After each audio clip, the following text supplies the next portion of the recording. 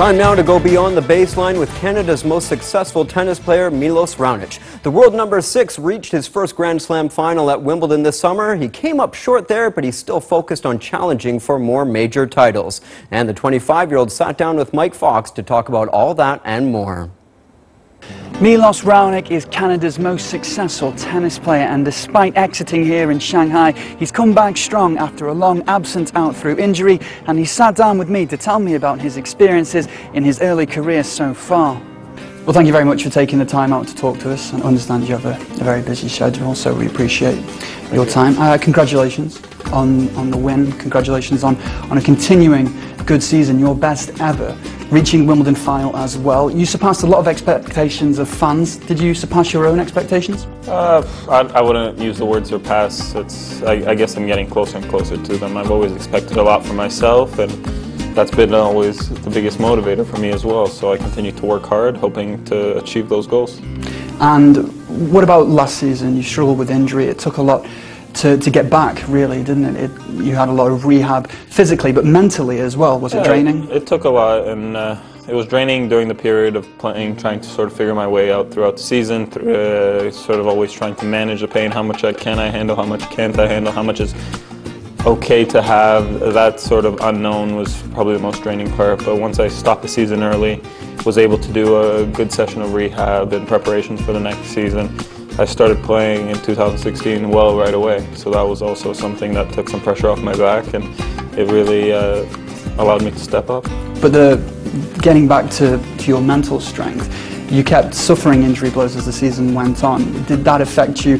Did that affect your game, you know, in your head? Yeah, to some extent, yes. Uh, sort of, especially when you start getting going well, you hope that you can keep it going, create some momentum, and continue playing well on a week-to-week -week basis. And if that stops you, it's a little bit disheartening.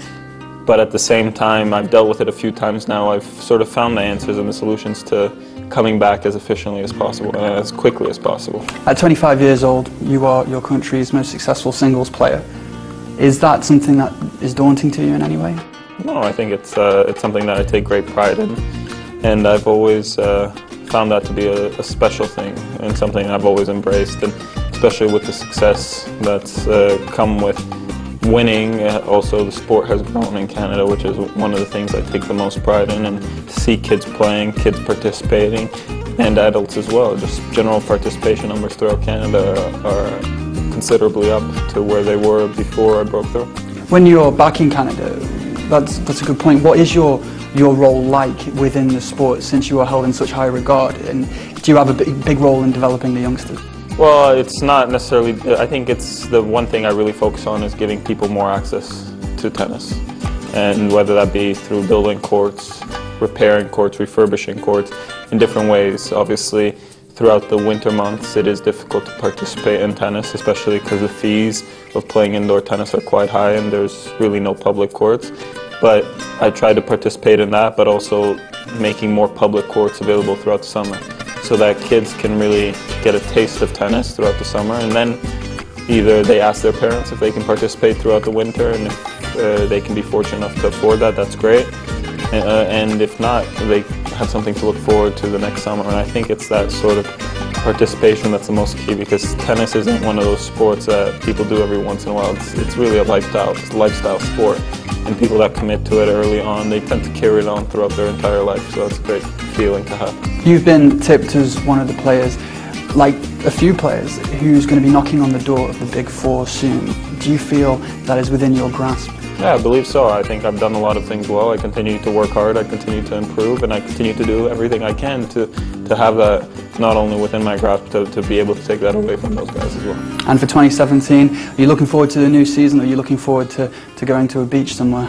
No, I look forward to the new season. I, I look forward to that time of seasonal, so where we're not constantly traveling, where we can sort of buckle down, train, prepare, and try to come out into the new year as well as a better player, as a different player, and hopefully as a player that's moved on and can achieve even better things. I wish you all the best with that. Thank you very much. Okay.